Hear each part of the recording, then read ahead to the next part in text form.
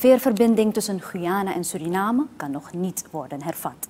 Minister Albert Jubitana van Transport, Communicatie en Toerisme heeft eerder deze maand aangegeven dat de veerverbinding eind januari weer opgestart zou worden. Echter is dat niet meer mogelijk vanwege verandering in de COVID-19-situatie in ons land. De bewindsman wijst erop dat Suriname in code rood is en het niet kan voldoen aan de eis van Guyana om niet in quarantaine te gaan.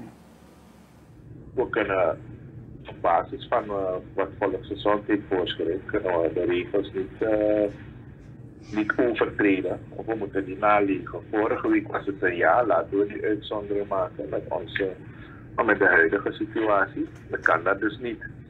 Dus vandaar dat uh, gisteren via CBS een, een communiqué is uitgegeven, omdat ik ook via social media zaken heb vernomen en die deels zeker uh, duidelijk zijn, maar ook deels op onwaarheid berusten. Want uh, ik heb een bepaald medium of een mediabedrijf of zo wilt een internetbedrijf die dat nieuws uh, uitbrengt, heb ik nooit een interview aan ze afgestaan. -hmm.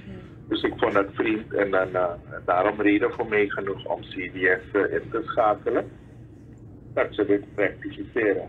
Omdat het oud nieuws was van vorige week en uh, dat is vanaf maandag en tot gisteren nog gelanceerd via de app. wat moeten ze met dat nieuws? Dus concreet, um, de situatie is veranderd.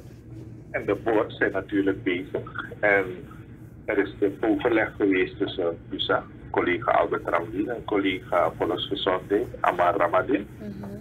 Waarbij we hebben aangegeven dat uh, mocht de heropening uh, ready zijn, of wij ready zijn voor de heropening in Guyana, dat wij alvast zullen openen met uh, cargo.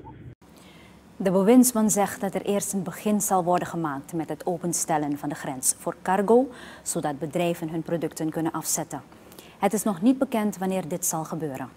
Jubitana benadrukt dat de openstelling van de grens alleen voor cargo zal zijn en vooralsnog niet voor personenverkeer. Maar dat is indien alle zaken rond zijn. Mm -hmm. Er moet een diplomatieke nota gestuurd worden vanuit USA hier naar uh, collega in uh, Guyana, waarbij, waar, waarna dus uh, de, de, minister daar, minister Edgel, mijn, contact, mijn ambtgenoot daar. Mm -hmm. En dan pakken wij van daaruit verder op dat de boards aan het werk gaan voor de voorbereiding. Dat is de volgorde.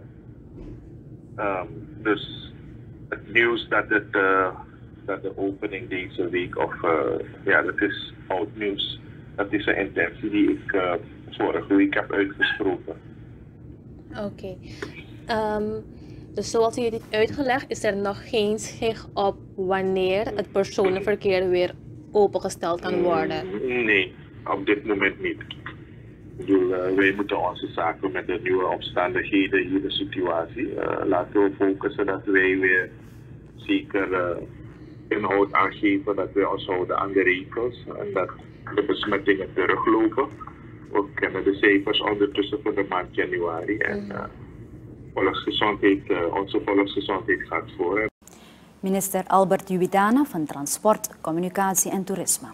Onze nieuwsdienst sprak hem vanmorgen over de veerverbinding tussen Guyana en Suriname, die vooralsnog gesloten blijft voor personenverkeer.